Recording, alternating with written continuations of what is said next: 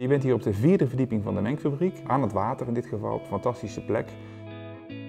En een van de plekken waar de houtconstructie nog helemaal in zicht eh, is, waar nog oude kozijnen zichtbaar zijn. Dus hier zie je zeg maar, de, de jaringen van het gebouw kun je op een hele mooie manier uh, nog steeds zien. Mijn naam is Michael Bol, ik ben architect bij Bureau Kade. En vijf jaar geleden mede-initiatiefnemer van de ontwikkeling hier op de tramkade. Nou, de fabriek is natuurlijk al 100 jaar oud.